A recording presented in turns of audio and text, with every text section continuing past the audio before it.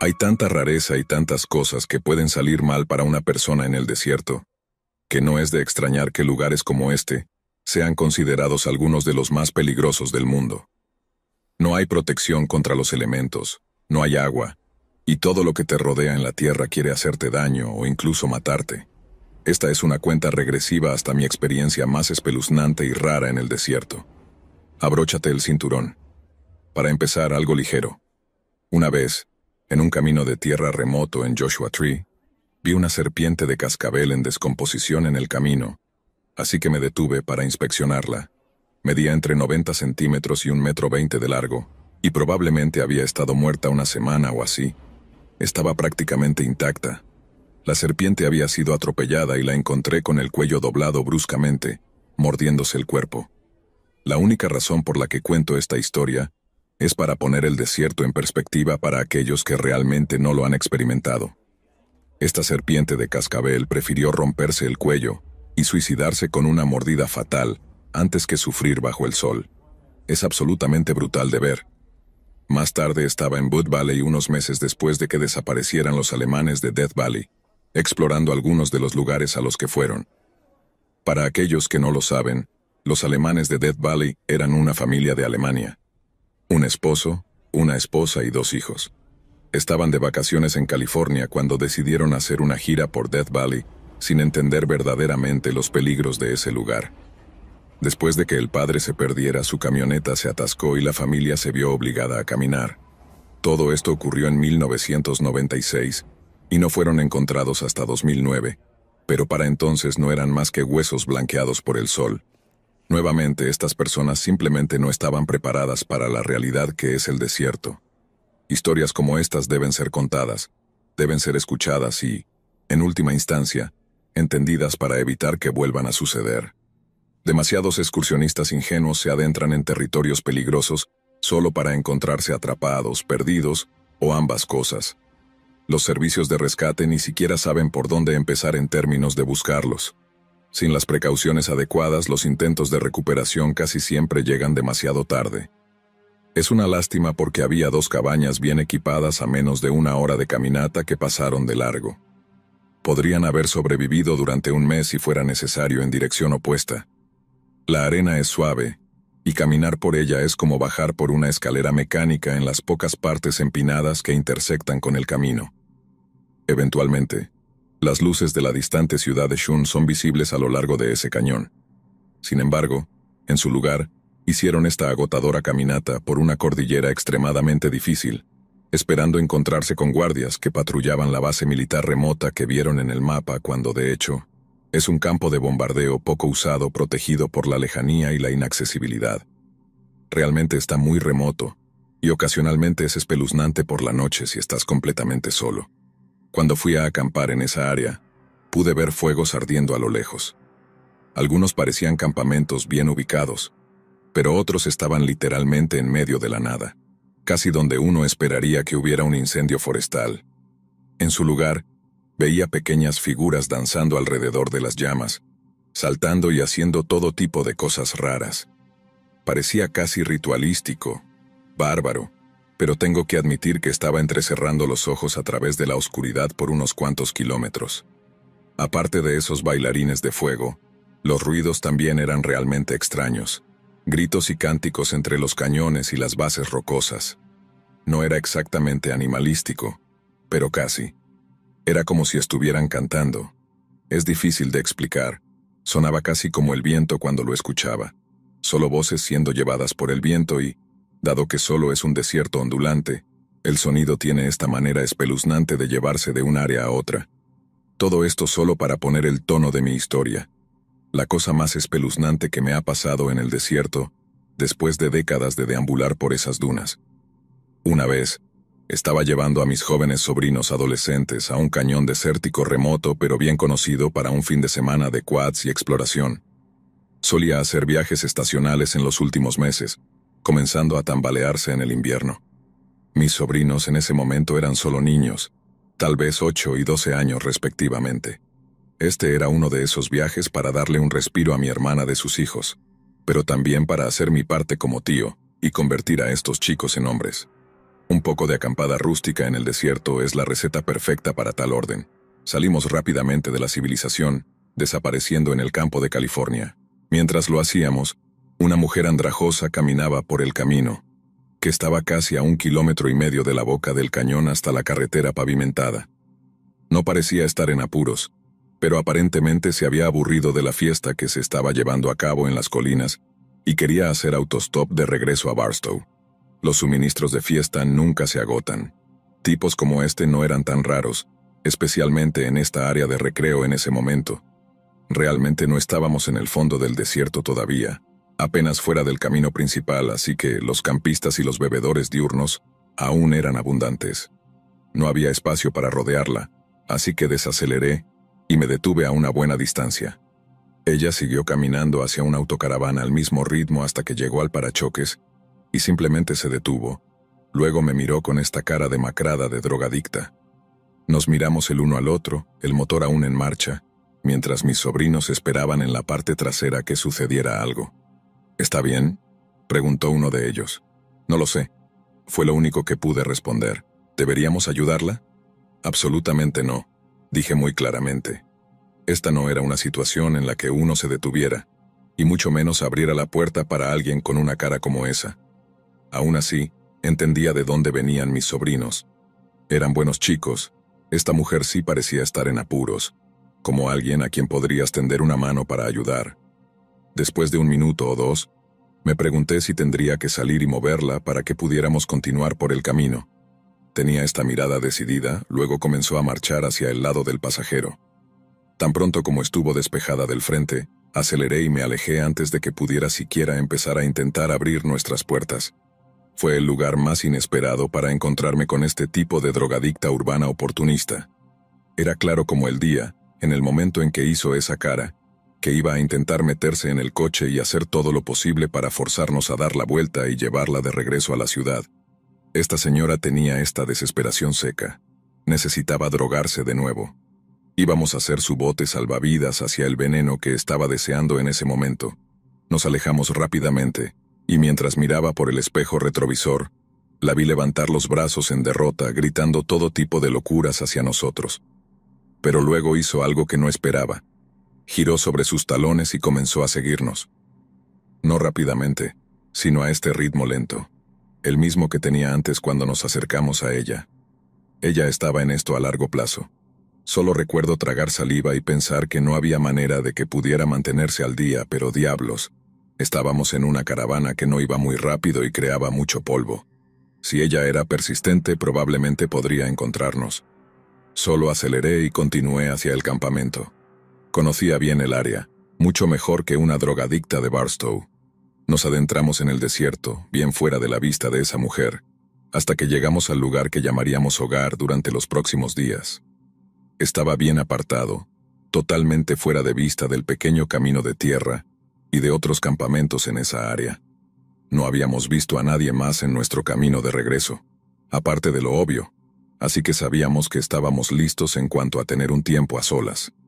Aún así, en el momento no podía quitarme la imagen de esa loca drogadicta girando y siguiéndonos. Finalmente, me perdí en las tareas de montar el campamento, preparar el hoyo de la fogata, recoger leña y, cuando estuvimos listos, establecer un área improvisada para relajarnos. Todas esas cosas normales, mis sobrinos ayudaron, por supuesto, ignorantes del hecho de que esa mujer aún podría estar ahí afuera buscándonos. El día pasó y, por supuesto, olvidé todo ese encuentro. Con toda honestidad, estábamos a algo así como 24 kilómetros de donde la vimos, mucho más lejos de lo que ella estaría dispuesta a caminar. Estaba seguro de ello. Probablemente perdió el nervio después de un kilómetro y medio o tres kilómetros, dio la vuelta y se dirigió en la otra dirección. De esa manera, podría regresar a la ciudad. De cualquier manera, estábamos listos para el fin de semana sin planes de movernos. Sería difícil encontrarnos en la oscuridad. Nos relajamos mientras el sol se desvanecía, dejándonos solo con las llamas para iluminarnos. Los chicos contaron historias de miedo. Les mostré a los niños qué constelaciones podíamos ver a través de los árboles. Comimos, nos relajamos un poco más y justo cuando empezaba a sentir sueño escuché algo. El tipo de cosa que no quieres escuchar cuando estás completamente solo en medio del desierto.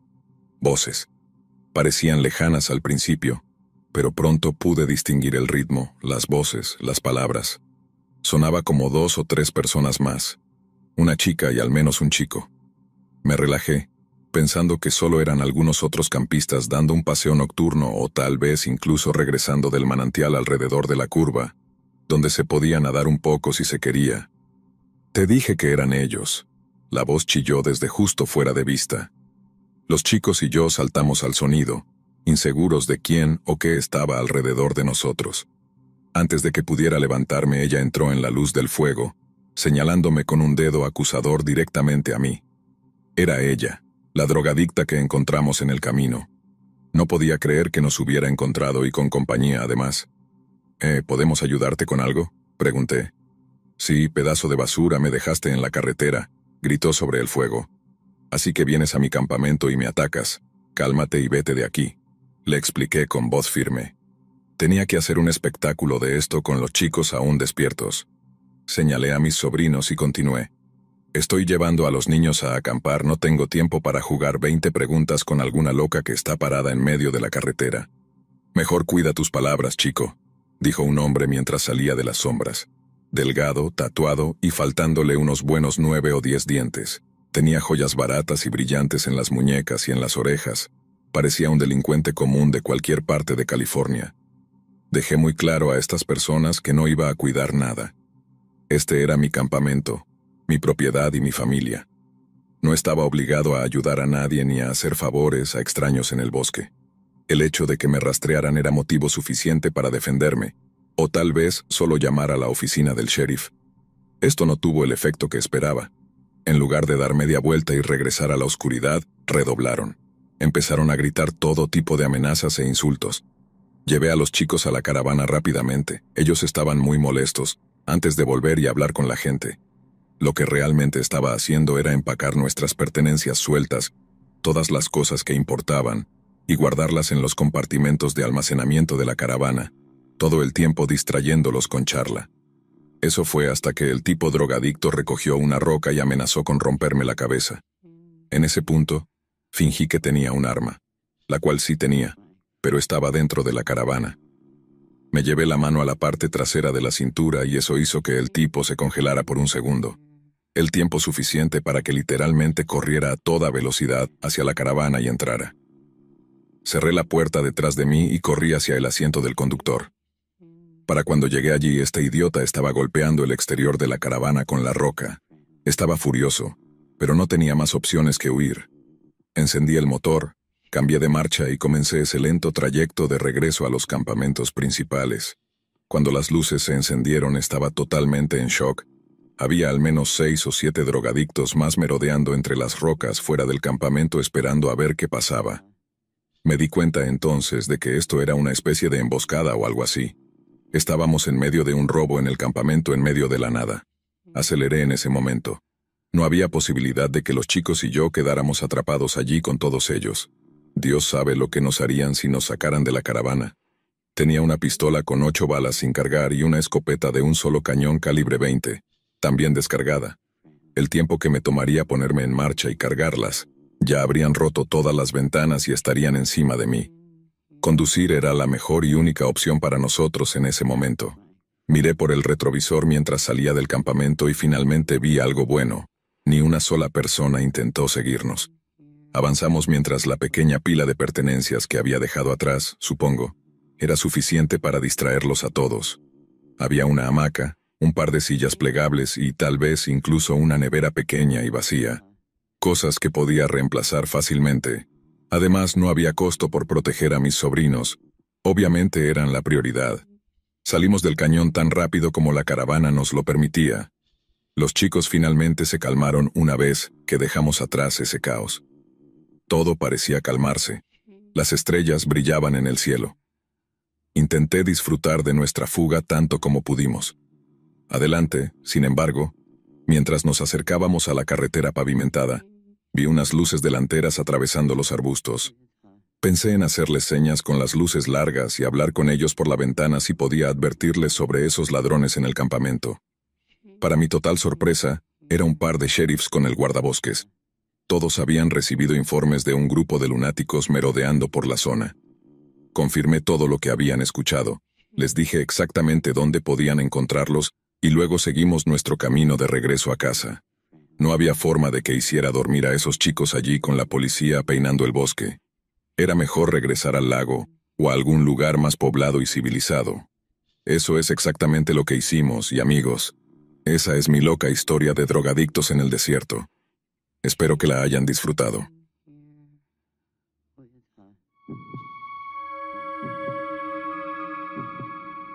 He pasado incontables días cazando en el desierto del sur de Texas. Es de donde es mi familia y crecí disparando a pequeñas criaturas desde 90 metros y medio bajo la cuidadosa supervisión de mi papá y mi abuelo. Con el tiempo, me convertí en un cazador sólido por mí mismo. He cazado casi todo lo que se puede cazar a lo largo de la frontera, y he realizado todo tipo de viajes, con familia, con amigos, o incluso solo. Es una inversión de tiempo divertida, sino terapéutica, y una que siempre he disfrutado mucho. Sin embargo, hay un viaje que me persigue, y ocurrió hace unos 10 años. Mis amigos Tim y Cari y yo decidimos ir de casa en solitario para cazar cerdos salvajes, jabalíes, como algunos los llaman. Habíamos estado viniendo a esta región durante años y conocíamos el terreno como la palma de nuestra mano. Probablemente éramos los mejores cazadores de nuestro grupo inmediato de amigos, lo que era una de las razones por las que todos queríamos ir juntos, mantener el peso muerto fuera y simplemente traer trofeos todas las tardes, comparar el tamaño y el peso de nuestras presas. El desierto se extendía ante nosotros como una tumba vacía, con dunas de arena ondulantes en la distancia. Montamos el campamento en un lugar aislado, lejos de miradas indiscretas. Esta no era un área conocida por nada nefasto, pero estando en medio de la nada, especialmente cerca de la frontera, nunca se sabe qué podría pasar. Así que aprendimos temprano que era mejor estar seguros que arrepentidos. Además, salir lejos del resto del mundo era donde encontrábamos buena casa. Todos nos instalamos para la noche, pasando un tamal envuelto en papel aluminio alrededor del fuego. Escuchamos un sonido extraño, como nada que ninguno de nosotros hubiera escuchado antes. Comenzó como un zumbido bajo, luego se elevó a un chillido agudo antes de bajar de nuevo a un susurro suave. Todos intercambiamos miradas incómodas, pero no dijimos nada todavía. Era como si todos estuviéramos pensando lo mismo. ¿Qué diablos es eso? Tiene que ser solo un coyote o algo así, dijo Tim rompiendo finalmente el silencio. Sí, o tal vez es un avión volando por encima, añadió Cari, aunque todos sabíamos que no era ninguna de esas cosas. Ese sonido continuó por un rato y luego de repente se detuvo abruptamente. Nos sentamos allí escuchando el silencio, ahora esforzándonos por captar cualquier otro ruido, pero no hubo nada, solo el crujido del fuego y el ocasional ulular de un búho en la distancia. Bueno, yo me voy a acostar, dijo Tim levantándose y sacudiéndose los pantalones. Mañana tenemos un comienzo temprano, muchachos. Sí, supongo que yo también, dijo Carrie siguiéndolo. Asentí, aunque no tenía sueño en absoluto. Me quedé despierto por un rato solo escuchando la oscuridad todavía preguntándome qué había sido ese sonido. Pero no volvió y eventualmente me quedé dormido con mis sueños llenos de extrañas e inquietantes imágenes. Como dije antes, he pasado décadas en esta región cazando, acampando, en general, sobreviviendo. Nunca he escuchado nada ni remotamente parecido a eso, y esos sueños que tuve fueron aún más inquietantes. Probablemente no tenían ninguna relación, pero en ese momento pensé que algo estaba tratando de hablarme a través de mis pensamientos. Me asustó un poco mientras yacía allí. No podía quitarme la sensación de que estábamos siendo observados, de que algo estaba allí afuera esperando que nos aventuráramos en su dominio. Rápidamente aparté ese pensamiento, diciéndome a mí mismo que solo estaba asustado. Después de todo, habíamos estado cazando en estos bosques durante años, y nunca habíamos visto nada fuera de lo común. Mientras me quedaba dormido, me pregunté, ¿y si esta vez es diferente? Tiene que suceder alguna vez, ¿verdad? Nos despertamos por la mañana y todo estaba bien. Nos levantamos justo antes del amanecer, cuando todo está suspendido en esa extraña neblina azul. El campamento estaba intacto. No había ningún tipo de sonidos extraños ni señales de criaturas ni humanos por igual. Preparamos una cafetera y la consumimos de inmediato, Luego reunimos nuestro equipo para la casa del día. Ahora, sabía cómo cazaban Tim y Carrie. Ellos seguían las crestas de las colinas e intentaban ahuyentar pequeños grupos de cerdos hacia el espacio abierto. Caminaban con el sol a sus espaldas, lo cual era inteligente, pero yo quería estar solo, no solo disparando a cerdos en movimiento. No, si iba a superarlos tendría que tomar un enfoque completamente diferente.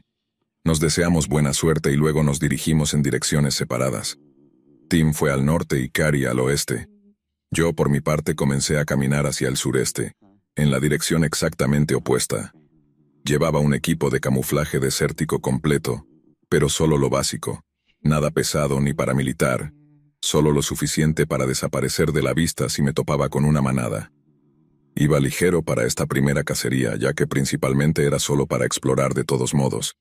Solo tenía conmigo un Magnum 357 de 7 disparos en la cadera, binoculares, y un sistema de hidratación de camello.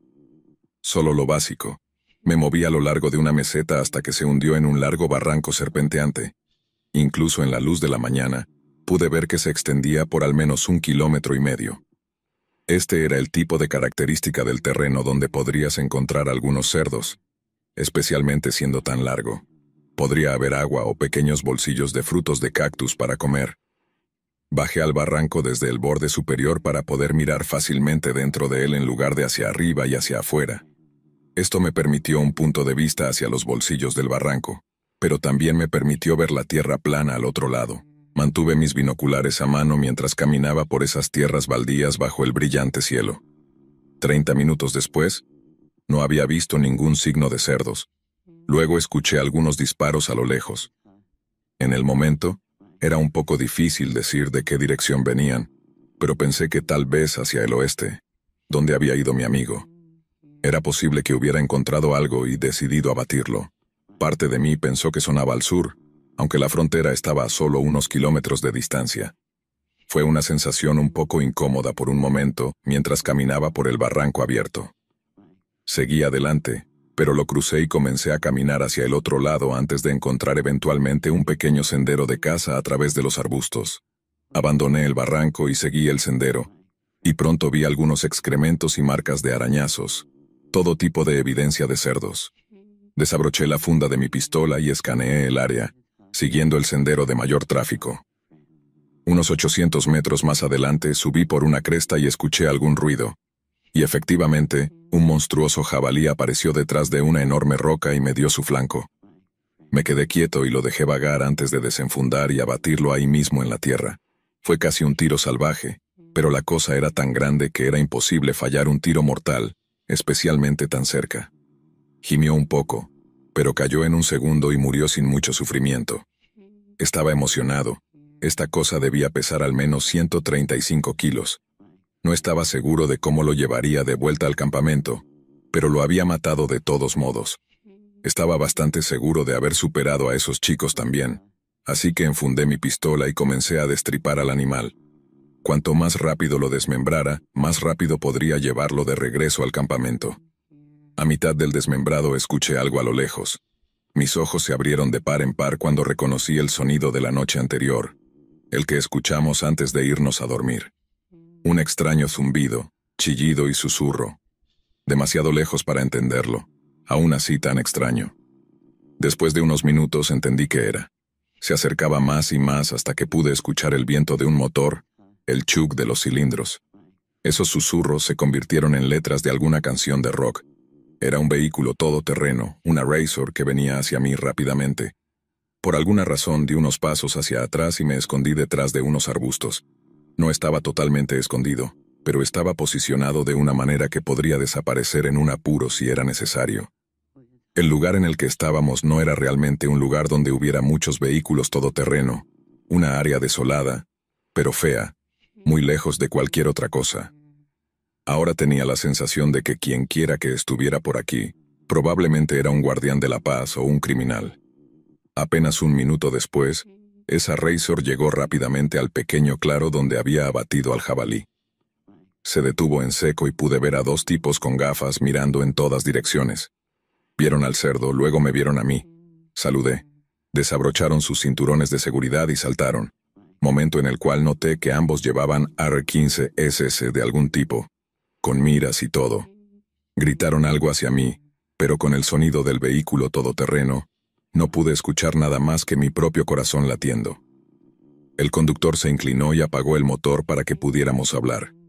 Supuse que también eran cazadores, buscando obtener direcciones hacia la manada que acababa de abatir, algo por el estilo. Hola, ¿tienes licencia de conducir? preguntó el pasajero, lo último que esperaba que me preguntara en ese momento. ¿Qué? respondí. ¿Tienes identificación? Fruncí el ceño.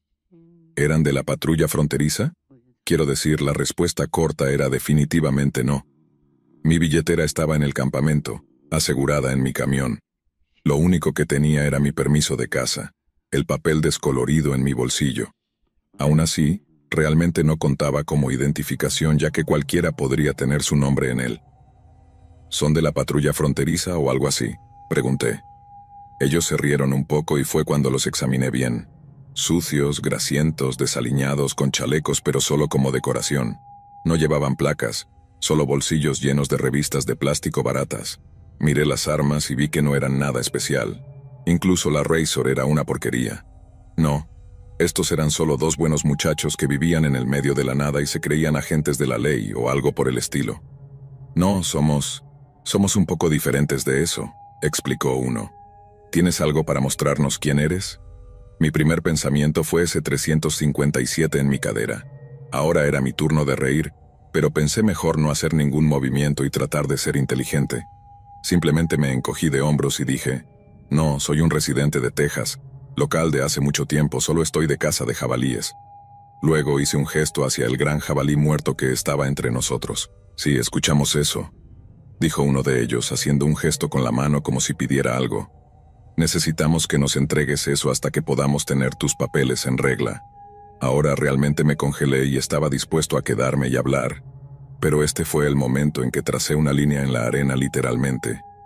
No iba a ir a ninguna parte y no iba a entregar ninguna de mis pertenencias a ellos tampoco. Todo esto era legal, mi arma era legal, todo lo que estaba haciendo estaba bien dentro de la ley. Estos idiotas simplemente se creían superiores y querían fastidiar a la gente probablemente buscando inmigrantes ilegales. Era tonto de su parte. Esta área no era realmente conocida por ese tipo de tráfico. No importaba para ellos, la situación no iba a desaparecer. Tomé un respiro y luego di un solo paso hacia atrás en el arbusto. Hicieron exactamente lo que pensé que harían. Comenzaron a levantar sus armas. Se veían sorprendidos, casi emocionados. Probablemente esto era un sueño húmedo para tipos como estos, un par de payasos del desierto que se veían a sí mismos como luchadores por la libertad resistiendo a algún enemigo invisible. Bueno, ahora yo era el único enemigo allí y no iba a dejar que me arrestaran un par de racistas tratando de ser la patrulla fronteriza. Di otro paso hacia atrás y me oculté un poco más entre los arbustos. Estaba hablando. No recuerdo exactamente qué decía, probablemente algo sobre que estaban fuera de lugar y no tenían jurisdicción reconocida. Recuerdo que mi mano se acercó a mi pistola, pero no la desenfundé, solo para sentirme cómodo. Alguien sí desenfundó, sin embargo. Tres disparos agudos llenaron el área y enviaron pájaros y conejos corriendo en todas direcciones. Me giré para encontrar a Carrie de pie en una cresta que nos miraba, con su propio mini AR-15 apuntando hacia arriba y echando humo. Luego me hizo una seña para hacerme saber que todo estaba bien. Entonces vi a Tim, que estaba mucho más cerca, a solo 15 o 20 metros de nuestra pequeña confrontación. Estaba apostado detrás de una roca, mirando a través de la mira de su viejo rifle militar de excedentes que usaba en estas cacerías. Era un matador probado y más que suficiente para perforar algunos agujeros en estos idiotas. Una vez que Tim y yo hicimos contacto visual, él se movió alrededor de la roca y comenzó a acercarse a mí, sin dejar de apuntar su rifle hacia los tipos y su razor. ¿Qué está pasando? preguntó. Nada. Abatí a un jabalí y estos tipos se acercaron en su vehículo todoterreno. Expliqué. ¿Ese ruido te suena familiar? Oh sí, asintió Tim. Mismo sonido de anoche, ¿verdad? Sí, dije. Ahora recuérdenme, ¿qué es lo que necesitan, muchachos? Desearía poder explicar la expresión en sus caras como un par de niños atrapados con las manos en la masa. Me refiero a rostros pálidos en blanco, lágrimas a punto de brotar. Habían mordido más de lo que podían masticar y lo sabían de inmediato. Nada, solo veníamos a revisar ese disparo. Tartamudeó uno de ellos. Explicaron que vivían cerca y habían estado lidiando con todo tipo de crimen, ya sea de miembros del cartel o simplemente de extraños que pasaban por allí. Les explicamos que éramos cazadores y el único problema con los criminales eran ellos, justo en ese momento. Al final simplemente nos separamos. No escuchamos ese Razor ni su música fuerte el resto de nuestro viaje. Nadie más nos molestó. Resultó que Carrie y Tim no estaban teniendo suerte, así que cuando escucharon mi disparo, decidieron venir a ver si había pasado algo. Justo cuando subieron esa cresta, la Razor se deslizó cerca de mí. Fue entonces cuando saltaron a la acción y decidieron rescatarme. Carrie tomó esa posición en lo alto mientras Tim se arrastró hacia mí para apuntarles con su arma. Gracias a Dios lo hicieron, porque esos tipos se acercaron listos para disparar, listos para atarme y arrastrarme detrás de su pequeño vehículo todoterreno. Lo aterrador es que eso sucedió, y por eso paga tener buenos amigos.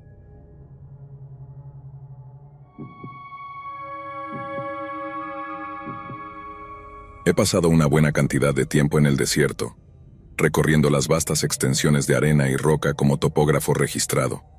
He enviado varias historias en el último año y pensé que era hora de enviar otra historia del desierto. Ahora, esta no es tan llena de acción como algunas de mis historias anteriores, pero fue una de las situaciones más extrañas e impredecibles que he visto desarrollarse dentro de las tierras baldías de Arizona. El suroeste es mi dominio, He trabajado desde las abrasadoras dunas de California hasta las formaciones rocosas de Nuevo México. Dicho esto, la mayor parte de mi trabajo se realizó en Arizona. He ayudado a desarrollar casi todas las subdivisiones dentro y fuera de Phoenix. He visto muchas cosas raras, mucha violencia y muchos eventos inexplicables que solo yo y el desierto hemos presenciado. La mayoría de mis días eran normales, pero cuando pasas el 90% de tu tiempo en medio de la nada, Inevitablemente habrá algunos días extraños. Un trabajo se destaca en mi mente, un trabajo que comenzó como cualquier otro, pero rápidamente se convirtió en un descenso al horror. No había peleadores de perros ni habitantes de contenedores locos como la última vez.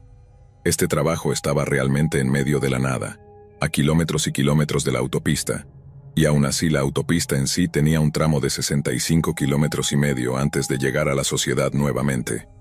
Solo yo, el sol, la arena y mi montón de equipo de GPS zumbando en el campamento base. Hace unos 15 años, al sureste de Phoenix, en una región tan remota que hacía que el medio de la nada pareciera una metrópolis bulliciosa, estaba trabajando en un proyecto de topografía, mapeando los límites para un nuevo desarrollo, avanzando bastante rápido. A la velocidad que me movía, estaba en posición de terminar el trabajo temprano y quería mantenerlo así. A lo lejos podía ver el reflejo plateado de la autopista y el tráfico reflectante que se desplazaba en ambas direcciones. Fue entonces cuando noté una casa rodante que se desvió de la carretera principal y se dirigió por un camino polvoriento. Ahora, esta no era una zona recreativa, ni mucho menos. No había agua, ni sombra, solo interminables kilómetros de arena y roca. Me quedé asombrado, preguntándome qué tipo de turistas o campistas querrían aventurarse por aquí porque el camino que tomaron eventualmente los llevaría hasta mí. No les presté más atención y traté de concentrarme en el trabajo en cuestión. Todavía faltaban unos 45 minutos a una hora para que llegaran tan lejos, y esperaba tal vez poder terminar y empacar para entonces. No pasaron ni 30 minutos cuando aseguré la última coordenada de GPS y terminé. Comencé el proceso de desmontaje, empacando todo antes de cargarlo de nuevo en la camioneta. Mientras empaquetaba mi equipo para el día, no podía apartar los ojos de la casa rodante, viéndola conducir de manera errática, zigzagueando por el camino antes de finalmente detenerse. Me encogí de hombros, pensando que tal vez estaban perdidos o buscando un lugar para echar una siesta, incluso si estaba fuera del camino de la autopista. Pero mientras cargaba mi equipo no podía quitarme esa sensación, esa sensación de que algo definitivamente estaba mal. ¿Por qué estaban conduciendo tan locamente por un momento? Un vehículo tan grande y pesado se volcaría fácilmente al girar bruscamente y acelerar a fondo. Era simplemente extraño para mí. No sabía qué pensar de todo esto, así que solo empaqué aún más rápido. No quería estar cerca cuando quien quiera o lo que fuera esto saliera por la puerta, borracho, drogado o lo que fuera. La casa rodante simplemente se quedó allí, estacionada al lado del camino, sin que se viera a sus ocupantes.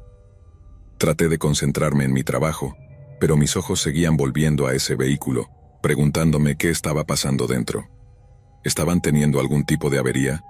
¿Estaban esperando a alguien? Finalmente terminé de empacar y supe que era hora de salir de allí. Tenía un largo camino de regreso a Phoenix y no quería quedarme en medio de la nada por más tiempo del necesario. Pero mientras conducía, surgió un nuevo sentimiento. Estaba dejando algo atrás o algo no quería que me fuera. Moví mi camioneta cuesta abajo y lentamente comencé ese viaje hacia la casa rodante, y con suerte eventualmente la autopista. Dejé de lado ese pensamiento, diciéndome a mí mismo que solo estaba asustado por haber estado en el desierto demasiado tiempo. Pero mientras conducía, el silencio y la soledad se cerraron a mi alrededor. La casa rodante se hizo más y más grande a medida que me acercaba, pero algo sobre ella me tenía completamente alterado, probablemente el hecho de que estuviera allí en primer lugar. Y entonces, justo cuando estaba llegando a la carretera principal, lo vi. La casa rodante conduciendo erráticamente una vez más, sus ocupantes aún no se veían. Aceleré con el corazón latiendo rápidamente, preguntándome qué diablos estaba pasando, y luego, tan repentinamente como apareció, la casa rodante desapareció de la vista, dejándome solo con mi camioneta en los caminos polvorientos. Se habían dado la vuelta y ahora se dirigían en la misma dirección que yo, de regreso a la autopista. Incluso podía ver la nube de polvo que estaban creando justo delante de mí, tal vez a 400 o 500 metros. No aceleré para alcanzarlos, casi feliz de estar detrás de ellos y fuera de vista. Doblé una esquina para ver lo último que esperaba. Esa casa rodante, con su conductor salvaje y su manejo errático, había derrapado demasiado y se volcó, exactamente como esperaba que sucediera. Llegué a la esquina justo a tiempo para ver su rotación final y asentarse en su techo. Se había volcado al menos tres o cuatro veces, dejando un rastro de plástico roto, metal retorcido y ríos de vidrio destrozado. Bueno, esto era exactamente lo que estaba tratando de evitar. Pensé que estaban borrachos cuando los vi por primera vez, pero ahora estaba prácticamente confirmado. Algún guerrero de fin de semana pensó que iban a tener un poco de diversión todoterreno cuando en realidad podrían haberse matado a sí mismos, y yo era el único alrededor para ayudar. Llamé al 911 en mi viejo teléfono de tapa.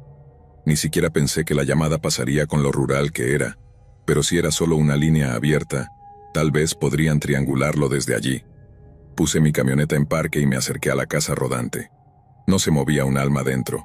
Era como si un fantasma hubiera estado conduciendo esa cosa o algo así, hasta que llegué a la cabina donde vi a dos chicas abrochadas en los asientos del conductor y del pasajero. Estaban suspendidas boca abajo, cubiertas de tierra y sangre, totalmente inconscientes.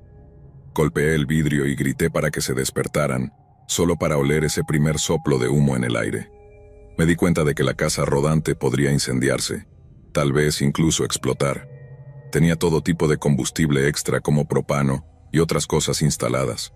El tiempo era limitado, estas personas necesitaban salir. Hice lo único que tenía sentido. Rompí la ventana. Me tomó un par de buenas patadas, pero cuando se dio, se rompió en nada, solo un charco de piezas destrozadas. Cuando esto sucedió, ambas mujeres volvieron en sí y comenzaron a gemir y a estirarse en todas direcciones. Pregunté si estaban bien a lo que una de ellas preguntó qué había pasado. Acabas de volcar tu vehículo. Has tenido un accidente, expliqué. Una de ellas asintió mientras la otra chica simplemente se rompió en llanto. Vio el vidrio en su cabello y su sangre acumulándose debajo de ella en el techo del coche. Era mucho en el momento y lo entendí, pero expliqué que parecían estar bien, pero todos necesitaban salir del coche de inmediato. Ayudé a la chica más cercana a desabrochar su cinturón de seguridad. Luego la medio acuné para que no cayera de cara en el vidrio que estaba justo debajo. De hecho, incluso puse mi mano plana para que pudiera poner la suya encima de la mía y arrastrarse sin más daño. Ella tenía mi edad, olía a tequila y tenía una de las quemaduras solares más locas que había visto. La otra mujer necesitaba mucha más ayuda. Claramente estaba en estado de shock Tal vez incluso tenía algún tipo de conmoción cerebral. El vidrio frente a su cabeza estaba destrozado y comenzaba a formarse un buen chichón en su ceja. Estaba fuera de sí, apenas hablaba, así que tuve que hacer mucho más para sacarla. Para cuando terminé, más de la mitad de mi cuerpo estaba atascado en la cabina, mi camisa llena de vidrio y líquidos goteando en mi cabello. ¿Hay alguien más aquí? Grité a las dos chicas. Pensé que debían estar solas, pero comencé a moverme hacia atrás. Sí, sí, balbuceó una de ellas. Me detuve y miré dentro de los restos de la parte trasera. La cama, el sofá, la cocina, todo había sido volteado y era casi irreconocible. Antes de darme cuenta había dos o tres tipos revoloteando por la parte trasera. Lo que había descartado como escombros que se asentaban, en realidad eran estos tipos sin camisa tratando de recoger algo. Mientras miraba el equipo destrozado me di cuenta de que eran los restos de un laboratorio de drogas de algún tipo, y eso estaba contribuyendo al olor en el aire cuando llegué. Estaban cocinando algo allí, y no era un asado de olla, era metanfetamina, LSD o alguna otra mezcla, y no quería tener nada que ver con eso. Cuando la policía llegara, me imaginé que estaría mejor fuera de escena, así que comencé a retroceder, momento en el cual uno de los tipos me notó y comenzó a arrastrarse hacia mí. Pude ver que sus ojos estaban totalmente desordenados, inyectados en sangre y con un tinte amarillo. Era realmente aterrador verlos arrastrarse por los escombros, cortándose las manos sin siquiera reaccionar a ello. Oye, ¿necesitan ayuda? Pregunté mientras me alejaba de la cabina y me dejaba caer de espaldas al suelo. No respondieron, solo salieron a cuatro patas a la luz del sol. ¿Qué pasó? Me preguntó uno de ellos. Volcaron su vehículo, expliqué señalando la casa rodante. El hombre la miró y pasó las manos por su cabello antes de comenzar a gritar. Este tipo estaba tan drogado que ni siquiera sabía que había estado en un accidente de coche. Eso también explicaba la conducción imprudente de las chicas. No parecía importarles nada en el mundo. El otro tipo comenzó a salir de los escombros, uno de ellos con lo que parecían tatuajes organizados de prisión por todo el pecho. Me prestaron algo de atención por un segundo, en el cual expliqué que solo era un transeúnte y estaba tratando de ayudar. No había causado el accidente ni nada por el estilo. Se enfocaron el uno en el otro después de eso, incluso empezaron a discutir un poco. Todos parecían estar en pánico por su laboratorio improvisado, no tanto por la casa rodante. Aproveché esta oportunidad para retroceder hasta mi camioneta y poner un pie en la puerta. Les pregunté si estaban bien, si necesitaban ayuda, a lo que dijeron que no, que me fuera. No necesitaba más convencimiento. Subí a la camioneta y revisé mi teléfono. Tenía algunas llamadas perdidas de un número que no reconocía.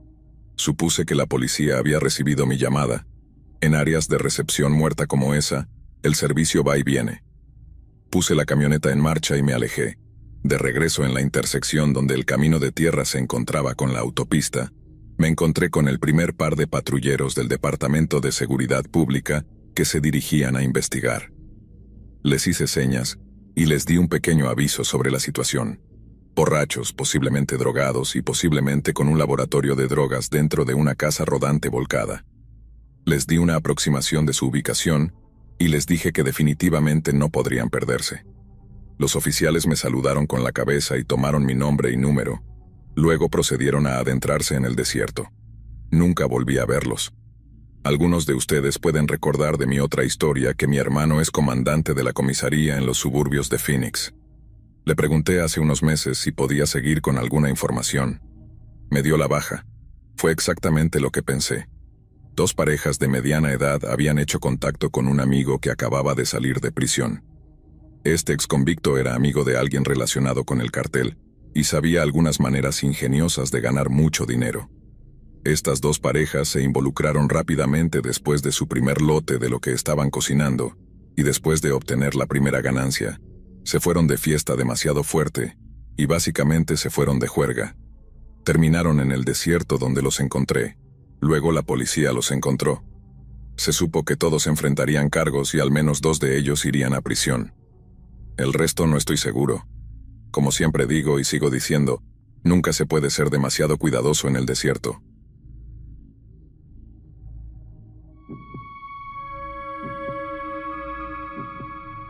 decidí aprovechar mis vacaciones para hacer un viaje con mi familia a un destino turístico que siempre habíamos querido visitar. El desierto.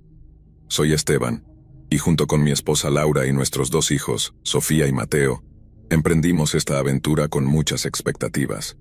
Habíamos reservado un paquete turístico completo con una empresa que ofrecía guías experimentados y una serie de actividades emocionantes. Las primeras noches fueron fantásticas. El hotel era cómodo y lujoso y había mucho por explorar y disfrutar. Todo parecía perfecto. Una oportunidad de desconectar de la rutina diaria y conectar con la naturaleza en su forma más pura y árida. Desde el principio, nuestro guía, llamado Fernando, parecía amable y muy conocedor de la región. Nos llevó a través de paisajes impresionantes, mostrándonos dunas gigantes, formaciones rocosas inusuales y oasis escondidos. Cada día estaba lleno de nuevas maravillas, y nos encantaba ver cómo nuestros hijos disfrutaban y aprendían sobre la geografía y la historia del desierto. Fernando tenía una habilidad especial para narrar historias, mezclando datos históricos con leyendas locales que mantenían a los niños fascinados y a nosotros interesados. Todo iba perfecto, pero a medida que el viaje avanzaba, comencé a notar algunas cosas extrañas en el comportamiento de Fernando. Una tarde, después de una larga caminata por el desierto, Fernando nos invitó a una cena en un campamento improvisado. Mientras cenábamos bajo las estrellas, comenzó a contar historias extrañas sobre personas que se habían perdido en el desierto y nunca fueron encontradas. Sus ojos brillaban con una intensidad perturbadora mientras hablaba, y aunque intenté descartar mis inquietudes, no pude evitar sentirme incómodo. Las historias eran demasiado vívidas, demasiado detalladas, como si él mismo hubiera estado allí, observando esos eventos desafortunados. Las noches siguientes continuaron con normalidad, pero la sensación de inquietud persistía. Fernando a veces se alejaba del grupo para hacer llamadas telefónicas que parecían muy serias y urgentes. Cuando regresaba, evitaba mirarnos a los ojos y su sonrisa parecía forzada. Una noche, lo vi discutiendo acaloradamente con alguien por teléfono, su rostro contorsionado en una expresión de frustración y furia contenida. Laura también había notado su comportamiento errático, y compartimos nuestras preocupaciones, aunque intentamos no alarmar a los niños. Llegamos a la última noche de nuestro viaje. Fernando nos dijo que tenía una sorpresa especial para nosotros, un paseo en jeep por una zona poco conocida del desierto, donde podríamos ver algunas de las formaciones más espectaculares y remotas. Aunque su entusiasmo parecía genuino, algo en su tono me hizo sentir que no todo estaba bien. A lo largo del día, había sido especialmente evasivo y reservado, y no pude evitar sentir que algo estaba mal. Esa noche, mientras nos preparábamos para el paseo, noté que el jeep estaba cargado con más suministros de los que necesitaríamos para un simple recorrido nocturno. Había varias garrafas de agua, mantas adicionales y una caja metálica que no logré identificar. Pregunté a Fernando al respecto, pero él solo sonrió y dijo que siempre estaba preparado para cualquier eventualidad. Mi esposa también estaba nerviosa, pero tratamos de mantener la calma por los niños. Sin embargo, la preocupación crecía en nuestros corazones. Nos subimos al jeep y comenzamos a conducir por el desierto. Al principio, todo parecía normal, pero pronto noté que nos estábamos alejando de las rutas que habíamos recorrido anteriormente. Saqué el mapa turístico para comprobar nuestra ubicación y vi que estábamos dirigiéndonos hacia una zona que no estaba marcada. Esto me alarmó, pero traté de mantener la compostura para no asustar a los niños. Fernando, ¿estamos yendo por el camino correcto? Pregunté tratando de ocultar mi preocupación. Sí, Esteban, no te preocupes. Conozco un atajo que nos llevará a un lugar increíble. Respondió con una sonrisa que no alcanzaba sus ojos. Su tono era tranquilizador, pero había algo en su mirada que me ponía los pelos de punta. A medida que avanzábamos, el paisaje se volvía cada vez más desolado. Las formaciones rocosas y las dunas comenzaron a parecerse entre sí, y la sensación de peligro se hizo más fuerte cuando vi que Fernando tomaba desvíos que parecían no llevar a ningún lado. Mis hijos comenzaron a inquietarse y Laura me miró con preocupación. La falta de señal en nuestros teléfonos solo aumentaba nuestra ansiedad. Finalmente, después de lo que parecieron horas de conducir sin rumbo, Fernando detuvo el jeep en una zona completamente desértica y oscura. Miró hacia el horizonte y luego hacia nosotros. Su expresión ahora completamente seria. Aquí estamos, dijo, bajando del jeep y abriendo la puerta trasera. Vamos a bajar y montar el campamento.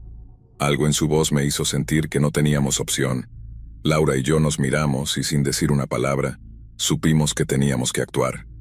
Le hice una seña a mis hijos para que se mantuvieran cerca y les susurré que íbamos a salir del jeep en silencio. Mi corazón latía con fuerza mientras evaluaba la situación, buscando una oportunidad para escapar. Aprovechando un momento en que Fernando estaba de espaldas, abrimos las puertas del jeep y nos deslizamos fuera. Comenzamos a caminar hacia atrás, alejándonos lentamente del vehículo. Fernando no se dio cuenta de inmediato, pero cuando notó nuestra ausencia gritó, ¿A dónde creen que van? Sin pensarlo dos veces, tomamos carrera hacia la oscuridad del desierto.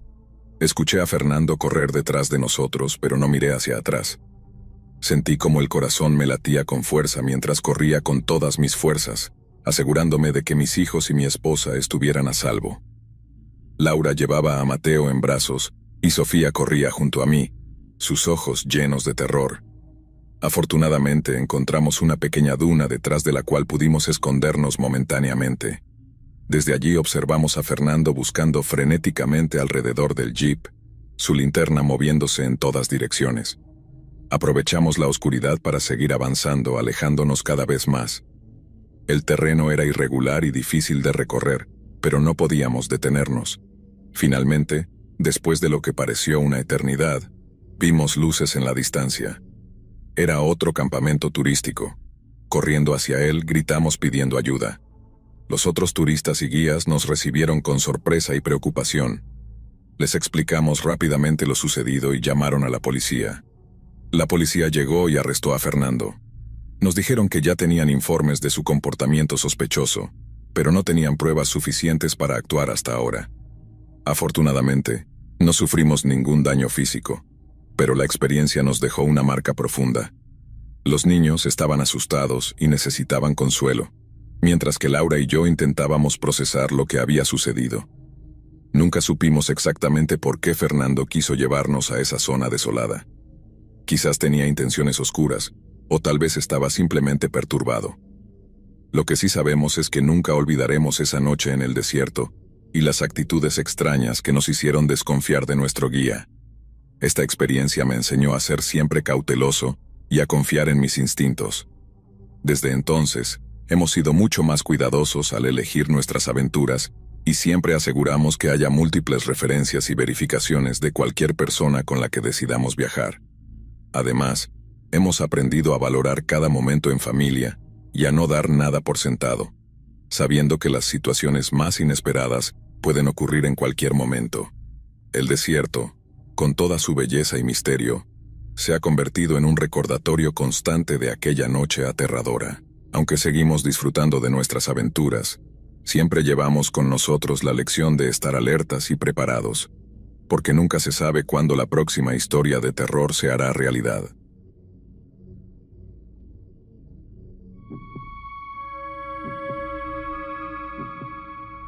Llevábamos meses planeando este viaje al desierto. Mis amigas y yo habíamos decidido que era hora de una aventura épica, algo fuera de lo común que nos permitiera desconectar de nuestras vidas cotidianas.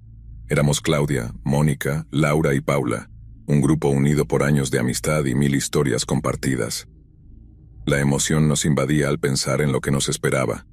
Vastas dunas, cielos estrellados y la promesa de experiencias inolvidables. Pasamos horas organizando cada detalle del viaje, desde la elección del hotel hasta las actividades que haríamos. Queríamos asegurarnos de que todo saliera perfecto. Hicimos listas de equipaje, compramos ropa adecuada para el desierto, y nos aseguramos de tener todas las vacunas y permisos necesarios. No dejamos nada al azar. Hablábamos todas las noches por videollamada para ultimar detalles y compartir la emoción. Laura, siempre la más meticulosa, nos recordó revisar nuestros seguros de viaje, y Paula, con su espíritu aventurero, encontró un tour con un guía que prometía llevarnos a los lugares más recónditos del desierto.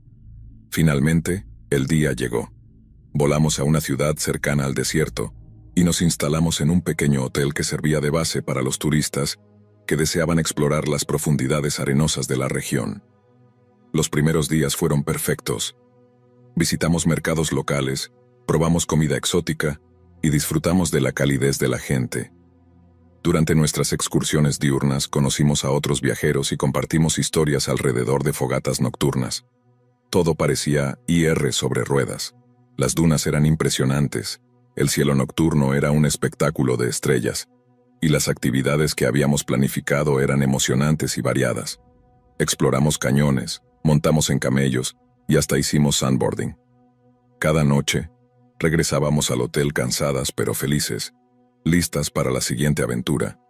Fue en una de esas noches, bajo un cielo iluminado por millones de estrellas, cuando conocimos a un hombre llamado Karim. Parecía encantador, con una sonrisa fácil y un conocimiento profundo del desierto. Nos contó historias fascinantes de sus travesías y, en un momento de entusiasmo, nos ofreció llevarnos a un lugar especial del desierto, uno que pocos turistas conocían. Según él, era un lugar mágico, donde podríamos ver las dunas más altas y experimentar la verdadera esencia del desierto. Karim tenía una manera de hablar que capturaba nuestra atención. Nos explicó que había vivido en el desierto toda su vida y que conocía cada rincón como la palma de su mano. Su oferta sonaba demasiado buena para ser verdad, pero su carisma y la forma en que hablaba con tanta pasión sobre el desierto nos convencieron. Nos prometió una experiencia única y diferente a todo lo que habíamos visto hasta ahora. Karim nos aseguró que sería una excursión segura y que él se encargaría de todo. A pesar de las advertencias de otros turistas sobre los peligros del desierto, su carisma y su conocimiento nos convencieron. A la mañana siguiente partimos con él en su camioneta, emocionadas por lo que nos esperaba. El viaje comenzó de manera agradable. Karim nos contaba más historias mientras conducía, y nosotras reíamos y disfrutábamos del paisaje. Después de unas horas, llegamos a un lugar que parecía salido de un sueño. Dunas gigantescas que se extendían hasta donde alcanzaba la vista, con el sol del atardecer pintando todo de tonos dorados y naranjas. Era verdaderamente impresionante. Nos detuvimos en una duna especialmente alta desde donde podíamos ver kilómetros y kilómetros de arena. Karim nos sugirió acampar allí esa noche para poder ver el amanecer desde la cima de la duna. Nos pareció una idea maravillosa. Montamos el campamento y preparamos una pequeña fogata mientras Karim nos seguía contando historias sobre las leyendas del desierto. Karim nos dijo que este era el lugar perfecto para acampar y que volvería pronto con más suministros y una sorpresa especial para la noche. Nosotras no sospechamos nada cuando se fue. Montamos el campamento, tomamos fotos y exploramos los alrededores. Fue entonces cuando Mónica hizo un descubrimiento perturbador. En una zona apartada, encontró huesos y otros restos que parecían humanos. El miedo comenzó a apoderarse de nosotras. Intentamos llamar a Karim, pero su teléfono estaba apagado. Nos dimos cuenta de que algo andaba muy mal. Revisamos nuestras provisiones y descubrimos que nos faltaba agua y comida. Karim nos había dejado con lo justo para unas pocas horas. Empezamos a discutir qué hacer. Decidimos que lo mejor era mantenernos juntas y esperar a que Karim regresara. Las horas pasaban y la situación se volvía más desesperada. El calor del día era insoportable, y la noche traía un frío que calaba hasta los huesos.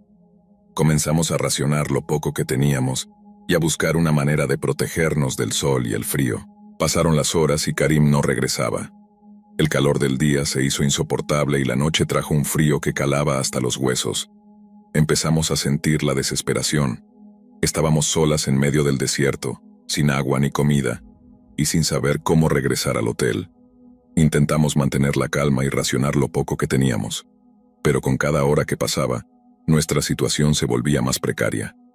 Laura comenzó a mostrar signos de deshidratación, y Paula estaba al borde del colapso nervioso.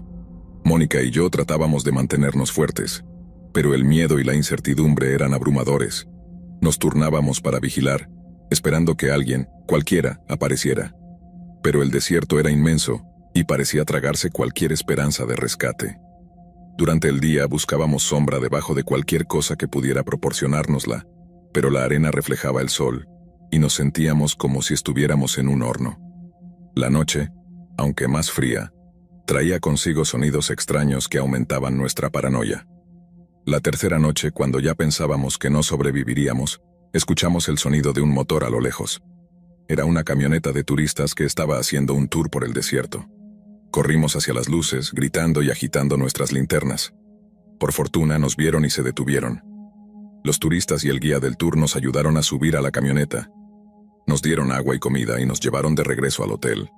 Allí relatamos nuestra experiencia a las autoridades locales, quienes tomaron nuestro testimonio pero no hicieron mucho más. Nos dijeron que Karim no era un guía registrado y que probablemente había hecho esto antes con otras personas. Nunca volvimos a ver a Karim. Las autoridades locales tenían la hipótesis de que él había llevado a muchas otras personas a esa zona remota del desierto, pero no sabían con certeza por qué lo hacían y qué obtenía de ello. Nosotras logramos salvarnos gracias a la intervención fortuita de la camioneta de turistas, pero la experiencia nos dejó marcadas. De regreso a casa, intentamos retomar nuestras vidas, pero la sombra de lo que pasó en el desierto siempre estuvo presente. Nos mantenemos en contacto y hablamos de vez en cuando sobre lo que nos sucedió, tratando de encontrar sentido a la traición de Karim y agradeciendo la suerte de haber sido rescatadas. El desierto, que al principio nos pareció un lugar mágico y lleno de maravillas, se convirtió en un recordatorio constante de cuán vulnerables somos ante lo desconocido y de cómo una decisión equivocada puede ponernos en peligro. Desde entonces, soy mucho más cautelosa al planificar cualquier viaje y siempre verifico la legitimidad de los guías y operadores turísticos. Esta experiencia me enseñó que la confianza debe ganarse y que siempre debemos estar alertas, incluso en medio de la mayor aventura.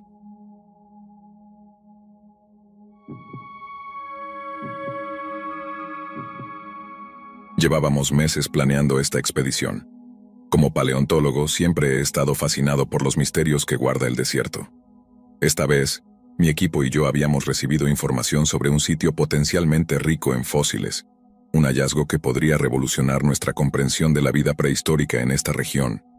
El equipo estaba compuesto por tres colegas experimentados, Laura, especialista en fósiles de dinosaurios, Miguel, experto en geología del desierto, y Carla, una talentosa estudiante de posgrado que había demostrado ser invaluable en nuestras investigaciones anteriores. Nos dirigimos a una región remota del desierto, un lugar tan apartado que la señal del celular se desvanecía a medida que avanzábamos. El sol abrasador y la arena infinita creaban un paisaje desolador, pero para nosotros, este entorno era un tesoro esperando ser descubierto. Al llegar al lugar instalamos nuestro campamento base y comenzamos a preparar el equipo. Había una emoción palpable en el aire. Todos estábamos ansiosos por lo que podríamos encontrar. El primer día transcurrió sin incidentes. Identificamos varias capas geológicas que parecían prometedoras y comenzamos a excavar con cuidado. Al segundo día, encontramos los primeros indicios de fósiles. Fragmentos de huesos antiguos comenzaron a emerger de la arena, confirmando que estábamos en el lugar correcto. Sin embargo, a medida que avanzábamos, las cosas empezaron a tomar un giro inesperado. Fue Miguel quien primero notó algo extraño. Estábamos trabajando en un área que parecía contener una gran concentración de huesos. Al principio pensamos que habíamos encontrado los restos de algún gran dinosaurio, pero a medida que desenterrábamos más fragmentos, nos dimos cuenta de que estos huesos eran mucho más pequeños de lo esperado. Laura, que tenía un conocimiento extenso en osteología, Observó los huesos con atención y frunció el ceño. Estos no son huesos de dinosaurio, dijo visiblemente confundida. Son demasiado pequeños y frágiles. Parecen humanos. Esa declaración nos dejó a todos en silencio. La idea de encontrar restos humanos en un sitio donde esperábamos descubrir fósiles de dinosaurios era perturbadora. Sin embargo, seguimos excavando, con la esperanza de entender mejor lo que habíamos encontrado. A medida que avanzábamos, la magnitud de nuestro descubrimiento se hizo más clara y más inquietante. Desenterramos decenas de pequeños esqueletos, todos ellos claramente humanos. Lo más aterrador fue darnos cuenta de que estos huesos pertenecían a bebés y niños pequeños. El estado de los huesos sugería que no habían estado allí por mucho tiempo en términos geológicos. No eran restos prehistóricos, sino algo mucho más reciente. Carla, visiblemente afectada, comenzó a documentar todo meticulosamente, tomando fotos y notas detalladas, pero el ambiente se volvía cada vez más pesado. Sentíamos una mezcla de horror y tristeza al ver esos pequeños esqueletos, tan frágiles y en tal cantidad. ¿Cómo habían llegado allí? ¿Quién los había dejado en ese lugar tan remoto? Decidimos tomar un descanso y reflexionar sobre lo que habíamos encontrado. Nos sentamos en círculo en nuestro campamento, intentando encontrar una explicación lógica. Miguel, que había estado inspeccionando algunos de los huesos más de cerca, compartió una teoría perturbadora. He notado algo extraño en estos huesos, dijo con una voz tensa. Muchos de ellos tienen marcas de incisiones precisas, como si hubieran sido objeto de algún tipo de procedimiento médico. Laura asintió, habiendo observado lo mismo. Es cierto, no son marcas de depredadores ni fracturas naturales. Alguien hizo esto deliberadamente. La idea de que estos niños hubieran sido sometidos a experimentos médicos nos dejó helados. Pero ¿quién haría algo tan monstruoso? ¿Y por qué?